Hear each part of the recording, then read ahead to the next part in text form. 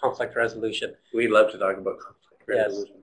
Um, because again, you know, again, it doesn't have to be, uh, um, doesn't have to be a fight, right? The conflict resolutions is a process, right? Yes. Uh, you want to clearly communicate, uh, you know, and have that open communication.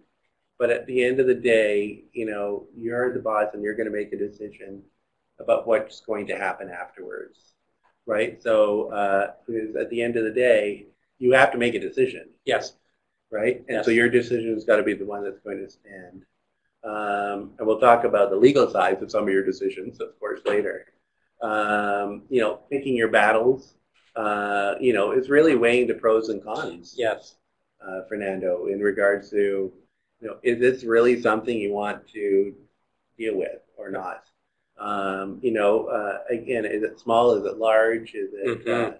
you know, and we've talked about, you know, not letting small things build up too, right? So, but is it a one-off and does it really matter? Exactly, Right? It's one exactly. things you have to decide. That's a great point about you know picking your battles. That's the whole idea. Is that, like you said? Is it a one-off or is it something that's been continuous? Right. So, um, I made a comment before about uh, never doing things when you're angry.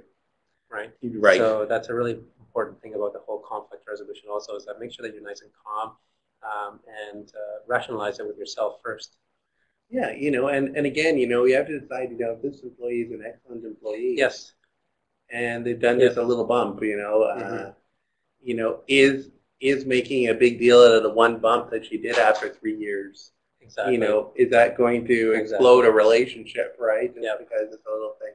But um, but uh, you know, it doesn't mean you hide behind it all. Okay, everyone. You know, you if something's not going right, you got to deal with it.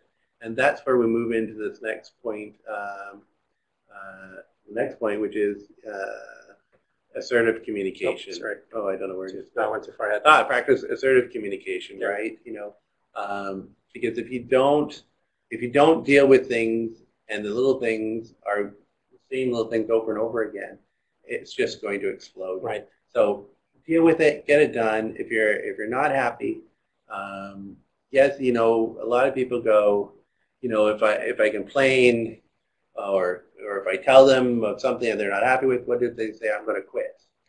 Right? Um, you know, I just want you to know that they're also concerned about if they're going to be fired. Oh yeah. Right? So it goes both sides, right? Yeah, definitely. Um, you know, at the end of the day, though, they're here to do a task for you, um, and you've hired them to do a specific task. And if that task is not being done the way you need it to be done, uh, that assertive communication needs to happen. Um, and again, choosing uh, when you're going to have the discussion, but also when and where, right?